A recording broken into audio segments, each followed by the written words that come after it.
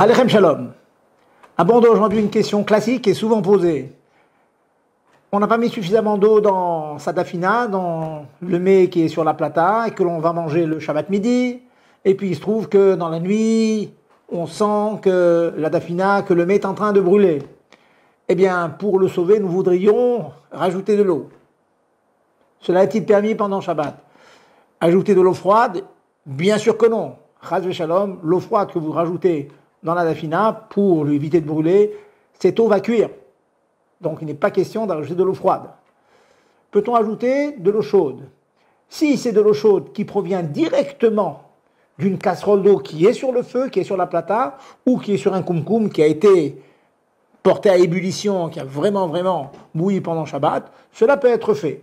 Donc, on prend la dafina, le mec qui est sur la plata en train de brûler, on l'enlève de la plata, on verse à l'extérieur du feu de l'eau bouillante directement du kumkum ou de la casserole pleine d'eau bouillante dessus, directement je dis bien, et ensuite on recouvre la dafina en question et la remet sur la plata.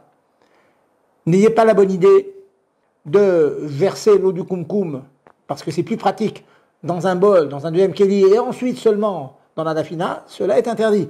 Parce que dès l'instant que vous prenez de l'eau et vous la mettez dans un bol froid, ça devient un kélichéni, et nous n'avons plus la permission de réintégrer cette eau sur la plata. C'est une des conditions que nous avons déjà évoquées. Ne pas mettre dans kélichéni, non pas forcément pour un problème de bichoul, mais un problème de mevachel, qui est interdit de mettre quelque chose qui a quitté le feu et qui est seulement sur un kélichéni.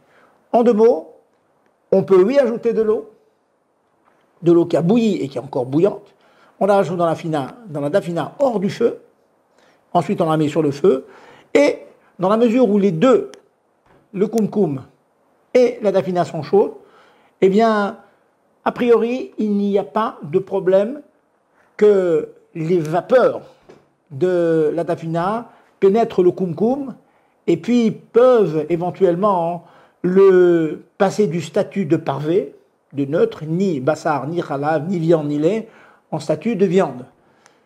Dans la mesure du possible, si on peut éloigner pour éviter ce problème-là, cela est mieux, mais dans la mesure, on considère que le kumkum reste neutre.